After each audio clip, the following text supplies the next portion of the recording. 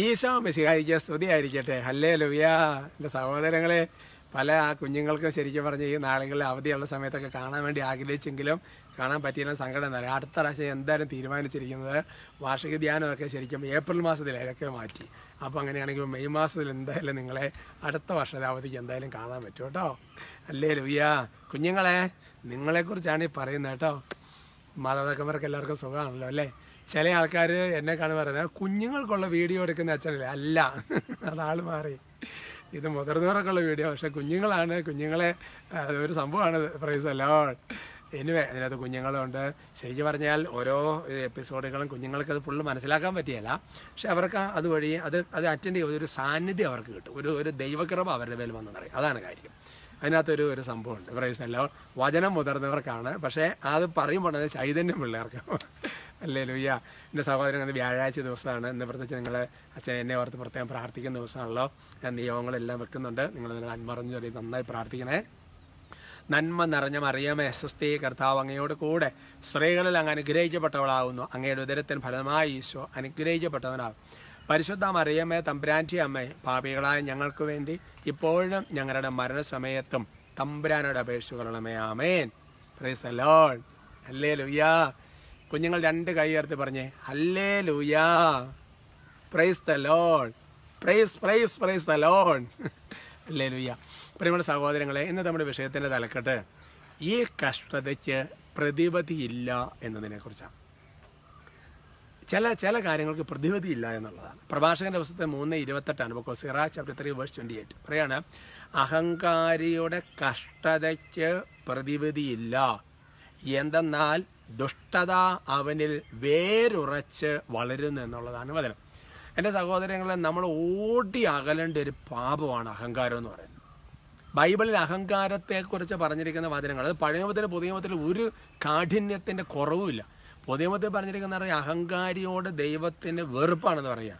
അല്ലെങ്കിൽ അഹങ്കാരിയെ ദൈവം എതിർക്കുമെന്ന് പറയുക. അപ്പം അതുകൊണ്ട് എന്റെ പ്രിയപ്പെട്ട സഹോദരങ്ങളെ നമ്മൾ പാപത്തിൽ നിന്ന് ഓടി അകലെന്ന് പറയുമ്പോൾ നമ്മൾ വേണമെങ്കിൽ ഇപ്പോൾ മദ്യപാനം അല്ലെങ്കിൽ ജട്ടിക പാപം അതിനേക്കാൾ അല്ലെങ്കിൽ ഈ അഹങ്കാരത്തിൽ നിന്ന് എങ്ങനെയെങ്കിലും ഓടി അകലണം ഇത് വരുന്ന ഒരു ട്രാക്ക് എന്ന് പറഞ്ഞാൽ ആദ്യം ആത്മപ്രശംസയിൽ ഇങ്ങനെ ആരംഭിക്കും അല്ലേ?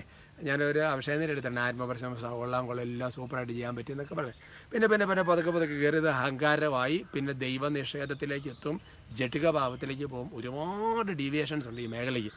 അതുകൊണ്ടാണ് മൂലഭാവം എന്ന് പറയുന്നത്. ഇതിനകത്ത് പത്ത് മുപ്പത്തിരണ്ട് ഭാവം വേറെ ഉണ്ടായി വരും അപ്പം അത് നമ്മൾ ചെയ്യേണ്ട കാര്യം ഇതിനകത്ത് നമ്മൾ എളിമപ്പെടാൻ കിട്ടുന്ന അനേക അവസരങ്ങൾ നമ്മൾ ഇതിനകത്തുനിന്ന് കയറി പോരാൻ വേണ്ടി പരിശ്രമിക്കാം.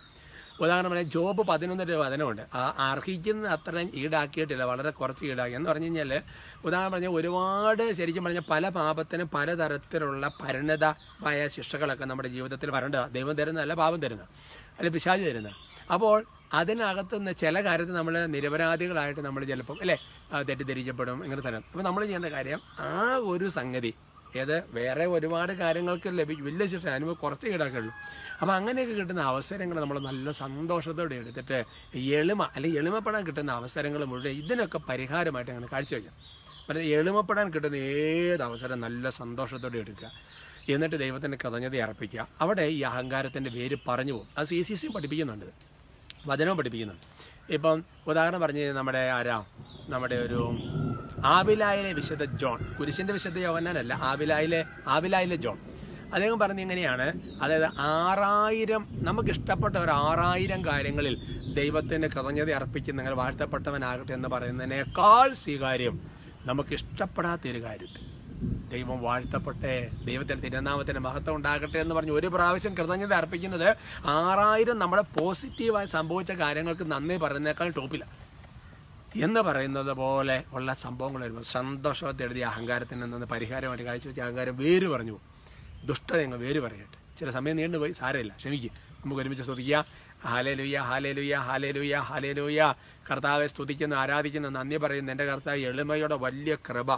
കർത്താവെ പലപ്പോഴും കർത്താവെ പല കഷ്ടത്തിൽ അഹങ്കാരം മൂലം വന്നതാണെങ്കിൽ എന്റെ ഈശോയെ വേര് പറിക്കുന്ന ഒരു സംഗതി വചനമാണ്. ശക്രയാപ്രമത്തിന്റെ വചനമുണ്ടല്ലോ വചനം പോയി പിടികൂടും.